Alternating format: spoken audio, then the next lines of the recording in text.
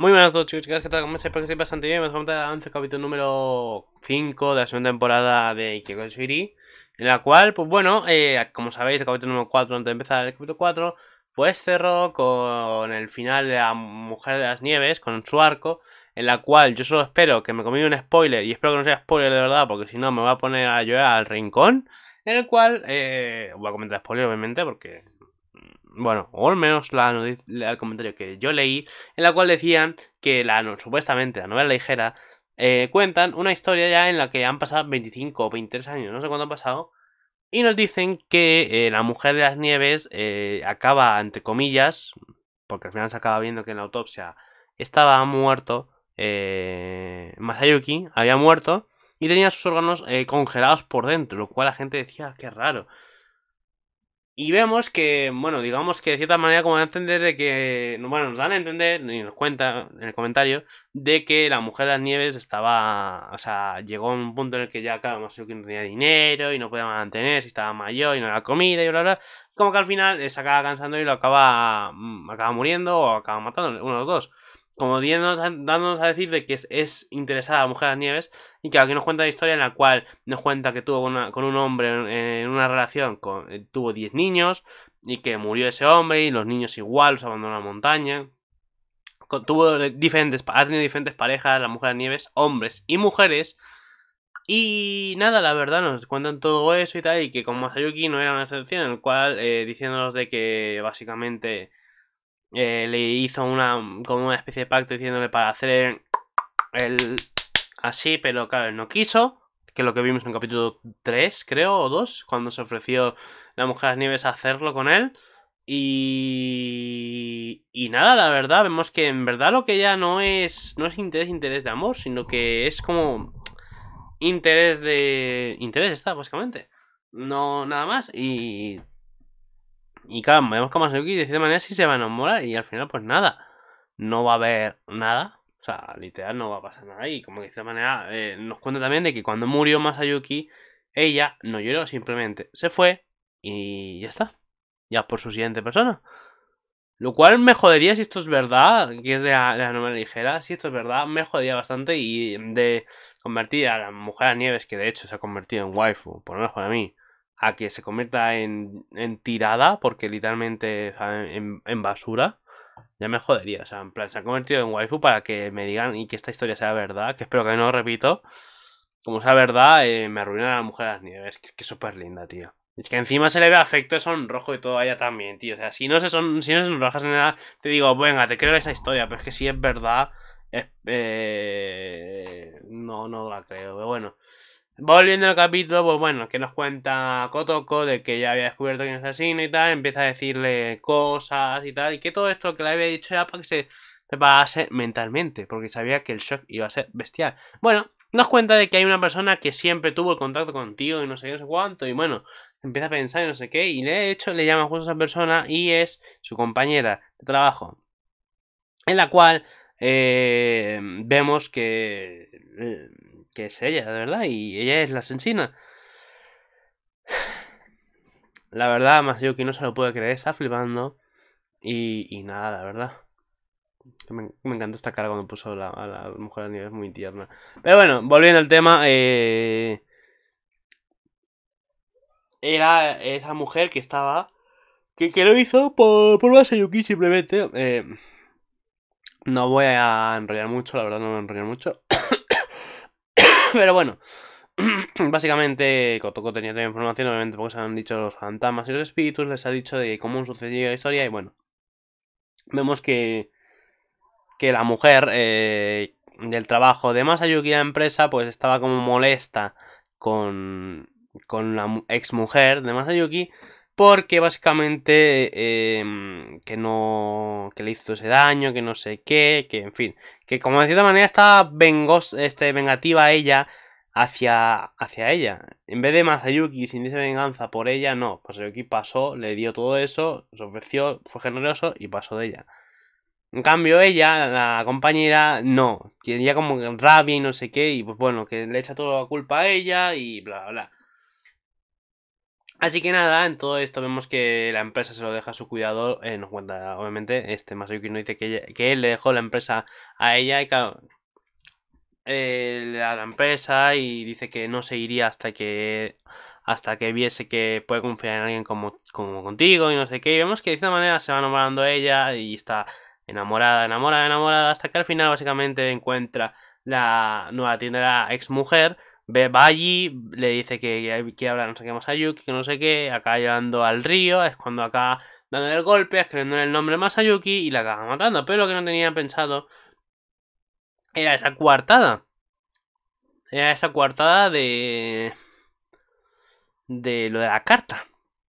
Así que nada, eh, el plan, supuestamente Kotoko nos cuenta su plan, que creo que esto se cuenta a Kuro y no se lo cuenta a, a, Masayuki ni a la Mujer de las Nieves, que de hecho Kuro luego aparece, todo esto Kuro aparece, está escondido y, y, y, Masayuki dice, pero si es todo lindo, y dicen que esto es una, esto es una, una vestrocidad humana y no sé qué. A humana, así que nada. Pero bueno, que vemos en los ojos, que de hecho creo que nunca se ha visto Kuro, y creo que si se ve a Kuro, cómo lo ven los yokais.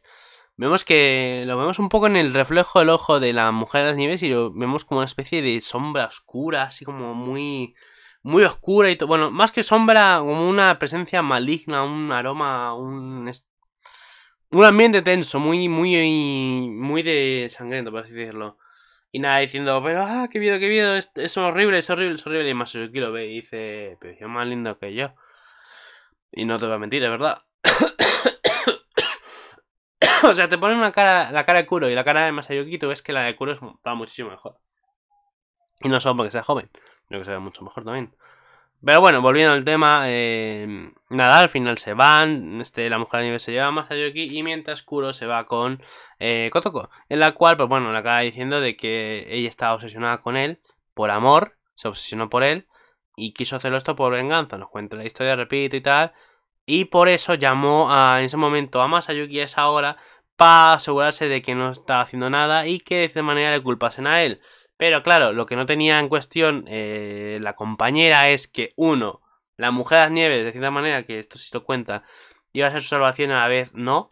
¿Por qué? Porque básicamente al ver a una mujer parecía a su mujer, pues la policía iba a preguntar que no sé qué, que no sé cuánto, y la iba a hacer sospechar, pero a la vez no tanto.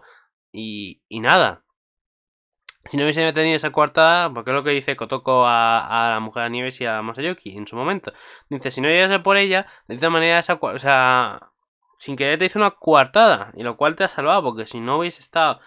Y claro, porque se dio cuenta de todo esto la policía cuando interrogó en su casa y le pidió por sorpresa y no sé qué, que no se lo esperaba, que no sé qué. Si no hubiese sido al revés, hubiese sido distinto y le hubiese... Aquí la policía hubiese sospechado más. Pero bueno, de esta manera le salvó un poco, comillas, y a la vez no repito, claro.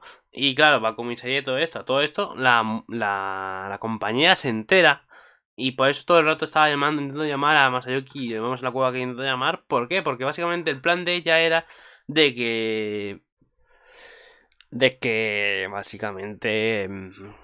Eh, al estar solo, aislado y que todo el mundo esté en su contra, pues la única, comilla, salvación sería ella y pues haría que de cierta manera esté con ella todo el rato y tal y haya más confianza con la compañera hasta que incluso llegase a enamorarse. Final feliz para ella. Pero claro, no se esperaba esto con que cuando ella llamase, pues que esa compañía que iba a tener con la mujer de las nieves no iba a ser lo mismo. O sea, no iba a estar solo, sino tenía alguien en que creer y en que confiaba, que era la mujer de las nieves y claro, no hará hacer el plan como quería y casi le meten a la cárcel sin querer a Yuki incluso.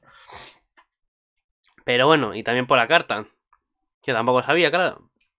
O sea, que lo hizo así, que podía haber salido así y no, así que casi la haría. Incluso puede haber metido más allí que la cárcel por la carta que escribió la, la, ex, la. Así que nada, al final pues así acaba el capítulo, la verdad. Se cierra el arco de las nieves y pues vemos que Masayuki empieza a tener más cariño a la mujer de las nieves. Y me encanta al final Kotoko diciendo, eh, usad condón, ¿vale? Que como nazca en este mundo, ahora mismo en la actualidad, un humano, medio humano, medio fantasma, la liamos padre. En fin, poco más. Ay, en fin, capítulo número 17. Que no estará el capítulo número 17. Recordemos que no tienen avance, ¿vale? Ah, y el ending lo actualiza ya no es una imagen fija. Ahora ya es una imagen con movimiento un poco más. Pero sigo prefiriendo el segundo, el primer ending de la primera temporada, verdad. El baile sevillano alias tango. Perdón. Episodio 17, Roca otra vez. Roca eh, se esconde de Kotoko y Kuro y se muda sola a un departamento, imagino que sea Roca, bueno, no sé si se llama así la, la prima, ¿vale? No sé si se llama así. Han dicho que se llama Roca. No creo que se llame así la prima, pero bueno, por si acaso vamos a verlo. Es que, es que, que, linda. Que como se verá tu historia me, me va a decepcionar bastante ya. Yo no la voy a tener tan alta estima. Se me cae bastante la mujer de nieves como eso sea verdad. Eh, mmm, Roca, Rika, ¿ves? Estaba bien, tiene sentido, era Rika. Vale. Bueno, volviendo. Rika otra vez. Rika se esconde de Kotokikuro y se muda sola a un departamento. Rika, que se mudó con solo una bolsa y sin garante, estaba alquilando, bueno, sin garantía, estaba alquilando una propiedad donde tres personas seguidas se suicidaron. Perfecto, buena zona para vivir. Eh, Kazuyuki Kono, el propietario, se pregunta sobre Rika, quién fue atropellado por un automóvil y no resultó herido ni afectado por el accidente. Pues, ¿Tengo huesos duros? Yo qué sé. Claro, porque a ver, si la vez que es accidente y todo, pues a ver, lo lógico es decir al hospital o cómo estás vivo. O viva en este caso. a ver, si te abres las imágenes que te he dicho, estaría mejor, ¿eh? Yo digo. Si te abres las imágenes que te he puesto, incluso mejor, ¿eh? Incluso mejor. Vamos, una sugerencia, ¿eh? Yo digo. Si no, no pasa nada. Vale, empezamos. Vemos aquí a Erika que está dañada y tal, que hace un golpe. Vemos aquí a Kotoko dando dulces. Eh, no sé si está pensando en comerlos o en que... ¿Qué le gustará a Kuro? No lo sé. hablando de Kuro. Vemos ahí, me imagino que está hablando con, con Kotoko. Los propietarios de ese apartamento, me imagino que están flipando lo que han visto con lo que acaba de hacer Erika, que es esto, el atropello. Pues sin nada, ¿eh? Normal, estoy piola. Y vemos aquí a Kotoko jugando con Rika. Bueno, nada más, la verdad. Puedo que decir, la verdad. ¿Qué quieres que diga? No puedo decir nada más. O sea, va a ser como un capítulo chill, pero mmm, es rica. No digo más. O sea, volver a ver a Rika ya es cosa, cosa seria. Pero claro, veremos. A esperar nuestro capítulo número 5 de esta segunda temporada. Así que el domingo yo aquí lo dejo y vemos qué nos trae. Nada más. Y nos vemos. Vale. Hasta la próxima. 自分のためじゃもう何もできないって時も。君が笑ってくれる。そのためなら不可能なんて